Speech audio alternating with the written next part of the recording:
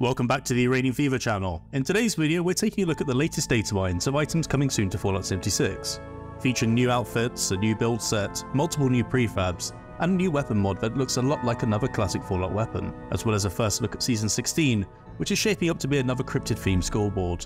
Let's get started. Special thanks to Sugar Bombs Rads for providing the visuals for today's video.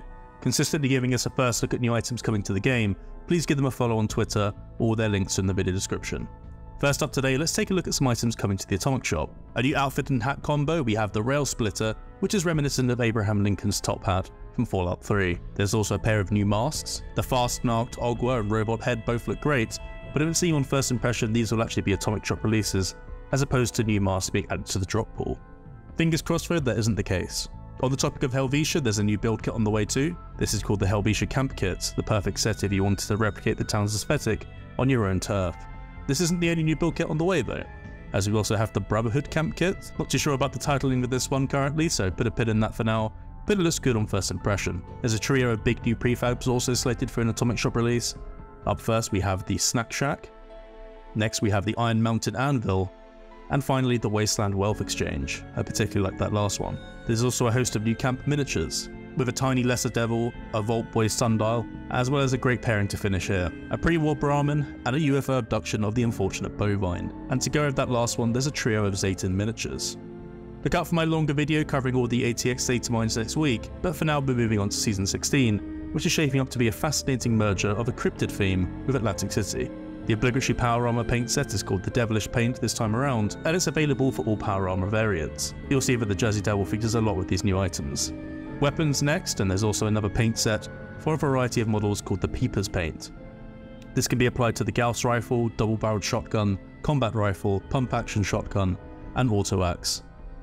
And up next, possibly my favourite item in today's video, a weapon very very reminiscent of the classic Enclave Hellfire Troops weapon of choice, the Heavy Incinerator, but this time it's called the Cremator and this looks like it will be another unique weapon as two skins are available on the board with the basic and Rip Daring paint, because yep, Rip Daring is back in this one. I think it looks amazing personally, but not only that, it also comes with a unique mod on this scoreboard too, which is a new development for scoreboards the mod being called the Slow Burner. I'll be looking to learn more about the effects that that gives in the next Datamine video. Running through a random selection of items next, we have a telephone booth, a weapon workbench called the Iron Mountain Forge, which no doubt will come with the prefab, the Thunderstorm weather station, and I must say I absolutely love the unique look for this one. There's also a pawn shop vendor station, a new butterfly collection station, so another camp collector on the way, a new chassis display frame, a dead Brahmin floor decor item, and an interesting one next, Rip Daring's outfit. So way back when for the other Cryptid scoreboard, a few data mined items didn't release with that one, but it's great to see that this outfit is making an appearance on Season 16's board, and it's not alone. The Pith helmet is also coming too.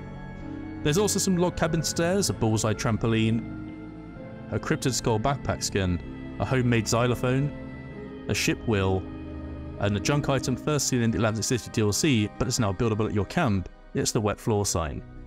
Rip Daring has some unique binoculars to go with his outfit, there's also a billboard set of lights, a collection of buildable miniature robots, a new statue gorilla, and another camp collector. This one is called the water boiler. I'll be hunting down what this does in time for the next video, and I really like this next one. There's a new chemistry bench called the Autopsy. Looks great if a little bit gruesome. A World of Crypt's trunk stash box is also on the way, and to finish up with today, we have some Jersey Devil themed rewards for Season 16, a new shooting gallery, a cryptid Cyclops power armor helmet, and last but not least the Stein for Season 16. But with that, we've reached the end of today's video. What did you think of these new items? Let me know your thoughts down in the comments. This was just an initial look at the latest data mines, as there's still a lot to cover, so look out for two follow-up videos, one for the Atomic Shop and the other one for Season 16, as we take a look at all of the new items coming to both. If you enjoyed this particular video, please consider subscribing to help the channel grow. We post a variety of Fallout 76 content, so turning on the bell icon is definitely the best way to stay up to date. With that said, I'm off. Thank you for watching, and we'll see you in the next one.